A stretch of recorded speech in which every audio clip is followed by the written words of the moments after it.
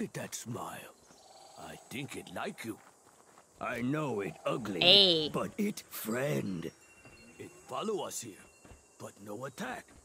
It need friend. What it say? I think it want to play. Or hungry. Maybe play with food like human? Okay, enough. Hello there.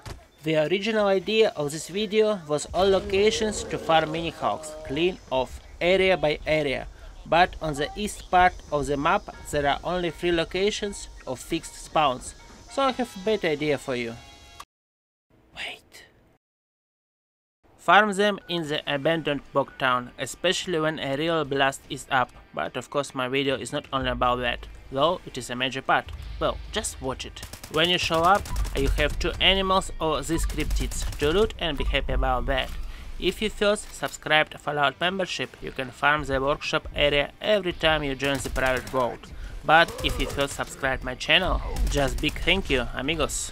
Vamos a matarlos rápido y furioso. In this part I want to show you how many mobs you can kill, but keep in mind, with a real blast event you can find more, because they will respawn during the event.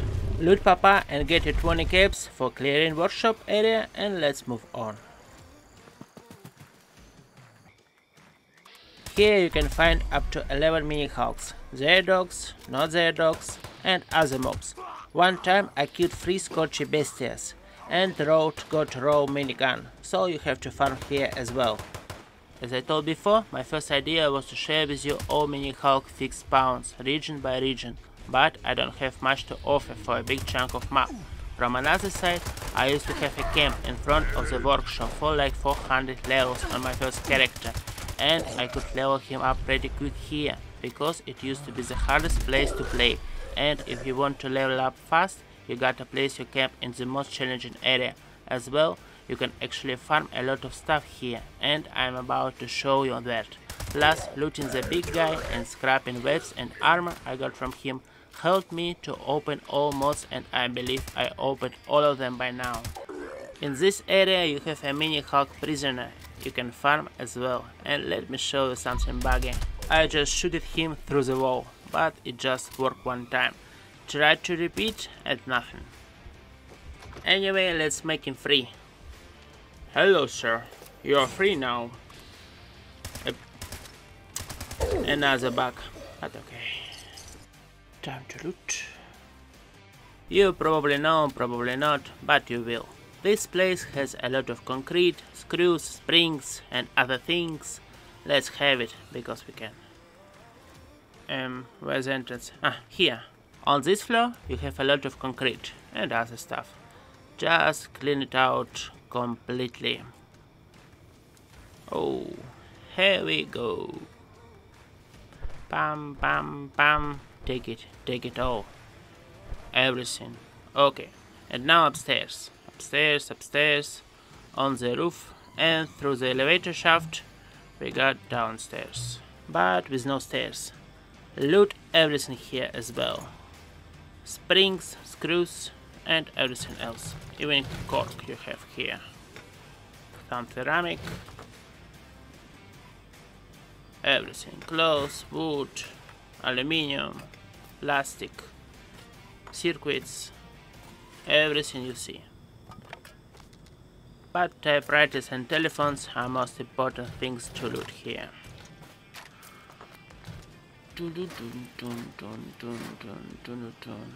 I'm doing as fast as possible, as you see.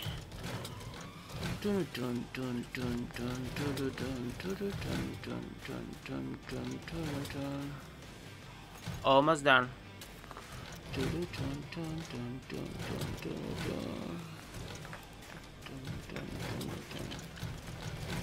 Yay, finished. Back to the previous floor to get concrete I forgot to pick up. And let's get something else. If you like clowns, you can have some here in this place. Or just play bowling, your call. Anyway, farm here close. Ooh, this guy from workshop area. Heck, he goes. Okay, oil. Wood from these bowls. uh, laser everything here is laser yay. It's time to scrap everything. Look at this. If you don't have the first step I don't think there is a need for a lot of concrete because it is heavy. Just one run and you have it. And a little bit of everything you might find useful. Keep it in mind that let's do it Okay, hoping server strategy. How long it will take for some sort of OP was only noobish lag build because I play on PC.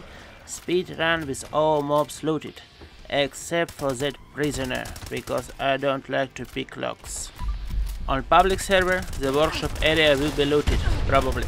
But it takes like a minute to kill and loot these guys. Depends if your palm is too sweat to move your mouse smoothly or a finger just slips off the left button constantly and it takes time to put it back and press the damn button. As you saw you can kill like 20 mobs here, depends who's around and how much want to die, but more or less you will spend 3 or 4 minutes, so better include this place to your usual farm route per server. And don't forget to clear workshop if you're on your private server.